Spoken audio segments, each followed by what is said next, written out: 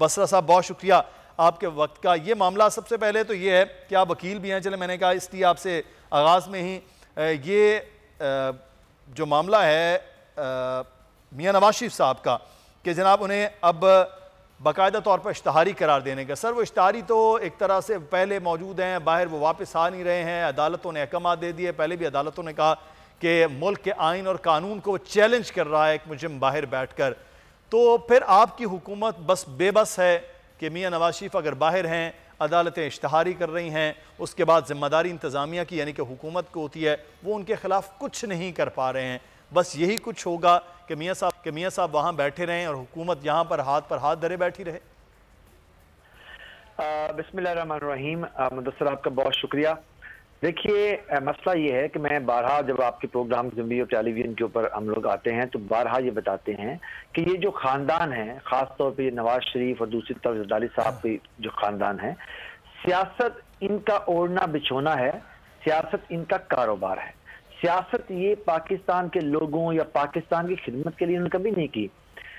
लिहाजा यहाँ से बनाया, पैसा फिर यहाँ से मनी लॉन्ड्रिंग की, चोरी के तरीके से बाहर भिजवाया और जहाँ जहाँ इनकी सेफ़ हेवन थी दुनिया के अंदर, जिनमें सर फहरिस्त आपको पता है कि इंग्लैंड है, यानी कि यूनाइटेड किंगडम है, बरतानिया है, दूसरी एक आपकी वहाँ पे है स्विट्जरलैंड के अंदर।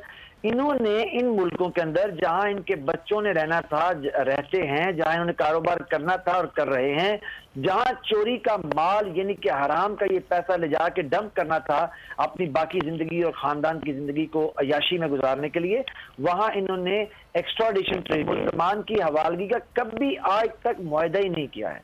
आप देखिए कि ये, आप इसको जरा अभी देख लीजिए कि मुस्लिम लीग नून हो या पीपल्स पार्टी हो, पिछले 40 साल से बिलमूम और बिलखसूस तो यही लोग इकदार के अंदर है ना। लेकिन क्या इसके अंदर एक मसला था? कौन सी रुकावट थी कि साथ मुलजमान की हवागी का मुआजा न कर सके? इसलिए कि इनको पता था कि अल्टीमेटली हम वहीं जाते हैं, हमने वहीं जाना है। पाकिस्तान तो हमारी चिरागा है। यहाँ पे आए लोगों को बेवकूफ़ बनाए, कभी वोट को इज़्ज़त के नाम पे बनाए, कभी रोटी, कपड़ा, मकान के नाम पे बनाए, कभी सफ़ेद मकबरे के नाम पे लोगों को बेवकूफ़ बनाए और यहाँ पे आके कभी शहीदों का लहू बेचें और फिर यहाँ पाकिस्तान पे हुकूमत करें, माल बनाए और बाहर ले जाएँ।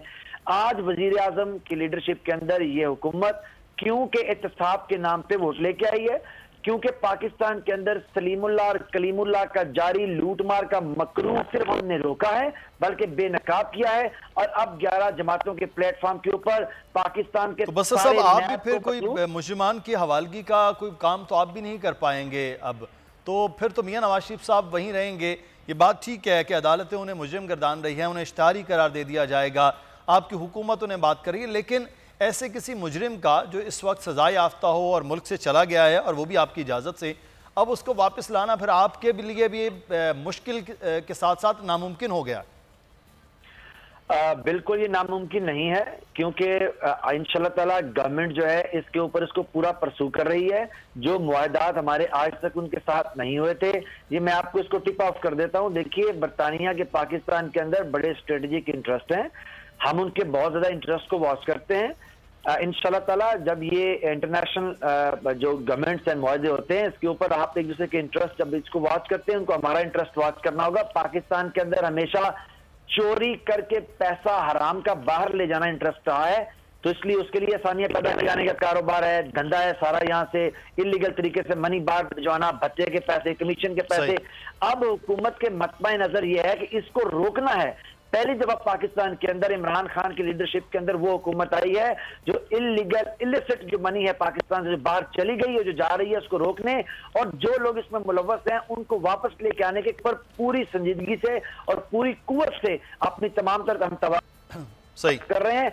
इसमें थोड़ी सी देर हो सकती है लेकिन ये नहीं हो सकता। मैं आपको अश्योर कर रहा हूँ कि आने वाले चंद महीनों के अंदर आप इसके ऊपर ब्रेक थ्रू होता नज़र आएँगे और ऊपर चले अभी अभी तो देखते हैं कि अभी तो सिर्फ़ यह है कि मियाँ साहब जो है वो बाहर हैं वो अदालतें उनके खिलाफ अब इश्तहारी करार देने के मामला को आगे लेकर चल रही हैं वो होते हैं नहीं होते हम बात करेंगे। राना अरशद साहब ने हमें ज्वाइन किया पाकिस्तान मुस्लिम नून के रहनुमा राना साहब बहुत शुक्रिया आपके वक्त का। राना साहब इश्तहारी करार देने के हवाले से अब शायद जल्दी फैसला हो जाए, शो शोकॉज जामिन को भी दिए जा रहे हैं। मियाँ नवाज़ शरीफ साहब वापस नहीं आ रहे हैं। उनके इलाज का मामला वो छः हफ्तों से छः माह तक तूल पकड़ गया और अब उससे भी ज़्यादा है। मियाँ साहब की वापसी तो नहीं होगी। तो अदालतें जब एक सबक वज़ी अजम को इश्तहारी करार दें कि वो वादा कुछ और करके गए थे, नहीं गए थे, नहीं वापस आए तो आपकी जमात के लिए, आपके कायद के लिए एक सुबकी का मामला नहीं है कि वो पाकिस्तान की अदालतों से इश्तहारी हो जाए। बिसमीम मुदसर इकबाल साहब, मैं आपका शुक्रिया अदा करता हूँ और आप, माशाल्लाह, बड़ी फहम फरास्त रखते हैं। मैं सिर्फ़ अर्ज़ ये करना चाहता हूँ कि हकूमत ने हमारे एहसान नहीं किया था, जो इन्होंने बोर्ड कॉन्स्टिट्यूट किया था, जिसमें आजकल जो नए भर्ती हुए हैं, फेडरल मिनिस्टर हेल्थ की सीट पर, वो भी उस बोर्ड के नुमाइंदे थे, मेंबर थे, डॉक्टर फैसल साहब। और डॉक्टर ताहर शमसी साहब कराची से, और वो आज भी इनके ही सिटिंग वो मेडिकल ऑफिसर हैं, जो मेडिकल बोर्ड बना था, जो रिपोर्ट्स हैं। ये आज रिपोर्ट्स तैयार कर लें कि मियाँ नवाशी साहब की सेहत ठीक है, वो सफ़र कर सकते हैं तो बिल्कुल हम उस पर सोचना शुरू कर देंगे। फिर इन्होंने जैसे जैसे एम्बेसी में रबता किया, वहाँ पर जो उनको जवाब मिला, वो भी सारी दुनिया को पता है। अब अढ़ाई साल में नलायकों की टाइम कुछ नहीं कर सकी। पचास रुपए किलो चीनी थी तो एक सौ राना साहब मेरा सवाल सर कुछ और है मेरा सवाल तो सर अदालतों के हवाले से राना साहब। आज वो मुंडलाते फिर रहे हैं। सर एक सौ दस रुपए चीनी साहब मेरा तो सवाल सादा था राना साहब। वो सवाल का मैंने कि अदालतों से एक सबक वज़ीर आज़म को इश्तहारी करार देने का अमल हो? तो एक बड़ी जमात के लीडर हों बड़ी जमात के कायद हों। आपका सवाल तो सुना है। प्लीज़ मैं समझ गया हूँ। मतलब इकबाल साहब, जो आप फरमा रहे मैंने सुन लिया। मैं वही अर्ज़ कर रहा हूँ कि अदालत ने जो आर्डर पास किया था, अब जो डॉक्टर्स हैं, वो रिपोर्ट्स हम कोर्स में भी जमा करवा रहे हैं, हम गवर्नमेंट को भी दे रहे हैं। जब डॉक्टर्स मियाँ नवाशी साहब को सजेस्ट करेंगे, वो बिल्कुल वापस आ जाएँगे। आज इशू ये है कि मियाँ नवाशी साहब का रोना रोते रोते इन्होंने मुल्क को दिवालिया कर दिया है। ये हकीकत में खुद नलायक हैं जो मनी लॉन्ड्रिंग के सरबराह हैं। आज भी मनी लॉन्ड्रिंग अगर हो रही है तो फिर कौन कर रहा है? हमजा शबाशी साहब जेल में बैठ कर कर रहे हैं। मियाँ शबाशी साहब कर रहे हैं? नहीं। आज इमरान खान साहब की जो नहल टीम है जो एटीएम मशीन है वो कर रही हैं। चीनी माफिया आटा माफिया मेडिसिन माफिया उसके बाद फर्टिलाइज़र माफिया। आज जिम्मेदार परेशान है कि जो डीएपी की बोरी साढ़े चौबीस रुपए की थी। अच्छा मैं मैं मैं ये जवाब जान लू आपका अहम पॉइंट है अहम पॉइंट है राणा साहब आपका अहम पॉइंट है। सब्सक्राइब करें और बेल दबाएँ ताकि कोई खबर रह न जाए।